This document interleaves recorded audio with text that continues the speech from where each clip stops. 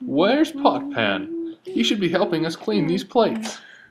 It's a bad thing when the men who have good manners are dirty also. Clean up and save me a piece of marzipan. Let in some of the guests. Potpan? Anthony? Yes, what do you need? They want you in the great chamber. Well, we can't be in two places at once. So, cheers. Welcome! The ladies who haven't ruined their feet can dance. Welcome, gentlemen.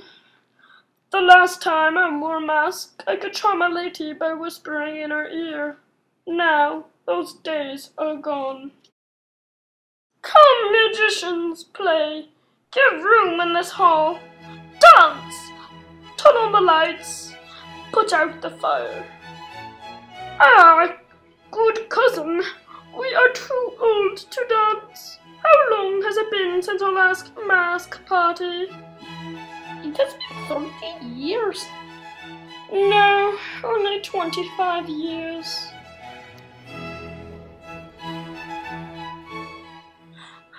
That lady holding the hand of that knight over there? I don't know.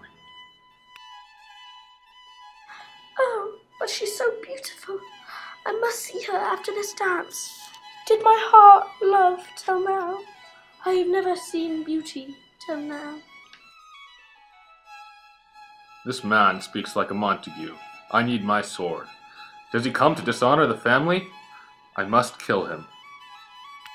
Why are you so angry? Uncle, this man is an Young enemy. Romeo?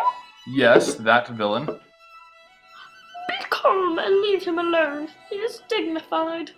Guess what? I'm the boss, and I'm not gonna be the one to start a mess. Pug! Romeo will pay for this little joke. If you're offended by the touch of my unholy hand, then let us make it better with a kiss. Isn't holding my hand enough? Please, I pray. I have transferred my sin from my lips to yours. When do my lips have your sin? Give me my sin back. You kiss by the book. Your needs you. Who is her mother? The lady of the house. I nursed her child.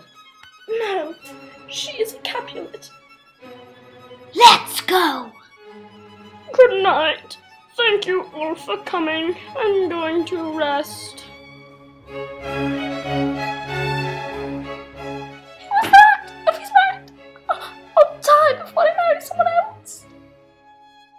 Your worst enemy's only son, Romeo. A Montague.